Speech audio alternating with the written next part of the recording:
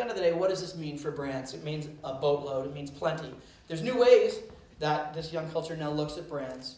Um, I showed you that one stat up there about people place too much importance on brands. I think that's really interesting. That resonated the highest. But then, I think what's really interesting is this next piece. I will purchase a brand if it stands for something that I believe in.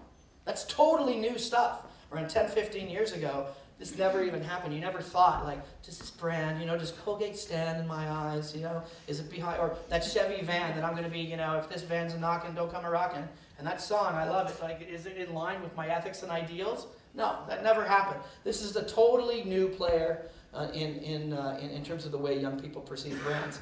Now, if you get to that, then they will be loyal to you. A good majority of them will be loyal. And they still say, a, a minority now, 40% say, brands help me make purchase decisions and processes. It's part of it. And I also think this is really interesting too. A celebrity's endorsement of a brand may influence my opinion of that brand. Only 12% even agree with that. Of course, these are all aspirational, right? There's still one in 10 of us here will say advertising affects me, right? Everybody else, oh, advertising has nothing to do with anything. But it's interesting to see that. And also, there's new factors that are joining the decision making matrix, you know? Um, ethics are really, really huge. And these numbers have jumped up dramatically in one year. They've all gone up around 10, 15% in the past year consider buying environmentally, all that kind of stuff is really interesting. This is good. Consider if the company is Canadian. So here in Canada, actually, we, compared to America, young people much more patriotic, much more nationalistic. In Canada, those number in the States, those numbers are around 27, 28. Here in Canada, we're a little more rah rah Canada. That's interesting, you know. But here we go again. Consider the general values of the company you get involved with or buy from at 30%. Um, consider if an item was ethically manufactured, again at 30%.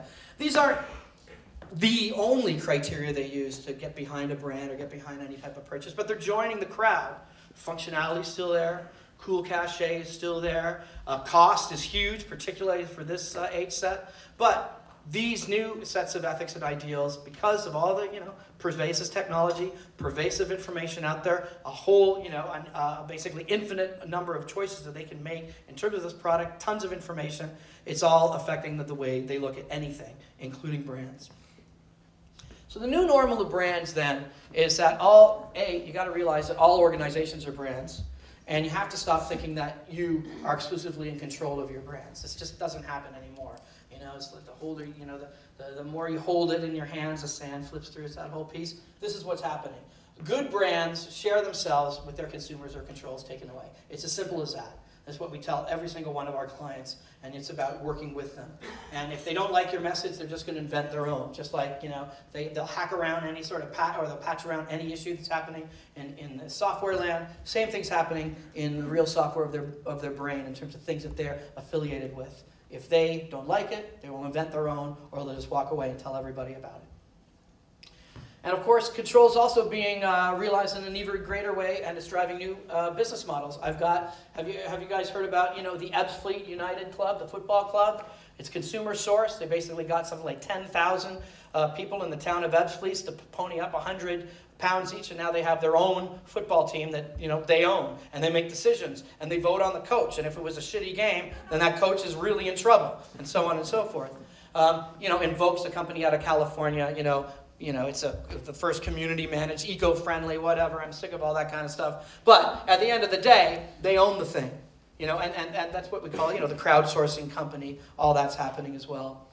And, um, and of course, this is playing out in the public sphere. We, we, I'm not even going to go into some, you know, thing about Obama, but yeah, he knows how to make this happen. And, and we've always heard about this term democratic renewal. You know, it was a long time, you know, I remember five, ten years ago when we were started starting the company, we had all these different people from the Ontario government, you know, we're all about democratic renewal. At that point, they didn't do anything about it. They had no idea what it meant. They just knew the young people don't give a shit about democracy, or at least getting involved with politics. And, and, and they were trying to find a way to connect uh, with them. And it's funny, um, it, it always happens, and, and, we do a lot of work with young, like really young kids when it comes down to uh, democratic renewal, and I love it. You, you tell a primary school school kid um, about democracy and all that all that it's about, and they're like, they buy right into it and everything. And this is a nine to ten year old, and they go, well, how can I get involved? And first off, you tell them, well, you got to wait till you're 18.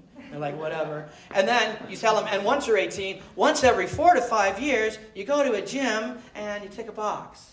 And, you know, they're like, God, you know, that, that's not what they want. What they want is a long term, ongoing interactivity, referendas, all of that kind of stuff. That's where democracy is going to have to go, and a lot of uh, governments are now finally doing this. I have an example here. Uh, Facebook site that was uh, uh created by young people in, in Ontario, Young Drivers Against New Ontario Laws. This was this is a crazy story. is anybody acquainted with this story? Sorry, yeah, remember that for Ontario Peeps Yo. All right, but but The Trillium. It's good weather there today. but uh, but, but you know, basically, it was Dalton and his gang had, had uh, tabled a bunch of different legislations around seatbelt stuff that everyone agreed with. But sort of in there, and this wasn't even a lot, it was just a tabled proposal. In there was this idea that um, some, some, some bylaw that basically if you're 16 years, if you're 18 years of age or younger, you could not have another person in a car that was 18 years of age or younger with you at any time, unless they were your family. So, so you know, so these kids, so these kids are going, okay, well, uh, thank you very much. So, so these kids are basically saying, you know, hey, if I've got 10 friends and we all want to see a movie, does that mean we have to get into five cars to go see the movie? That's crazy. So anyway, long story short, they created a Facebook site around, around within around a, a week, they had around 110,000 young people assailing this. The press was all over it, and Dalton and the crew said, yeah, that tabled proposal is gone. And, and that's where democratic renewal is going to happen. I think that's really interesting. And in, just in terms of research itself and the way brands operate, the way organizations operate, um, really that's always been our mantra. Our, our mantra over at Youthography has always been um, getting the new consumer directly involved with whatever it is you're doing at the earliest possible juncture. That's now what's happening. Panels are where it's going. Creative advisory panels to run an ad. You know, young people making uh, content, young people creating products. That's where things are going. That's, that's, that's obviously what's happening. So just being a brand doesn't cut it anymore um, with younger consumers. A brand has to live its message in all that it does, and that's to stand for something uh, I believe in part.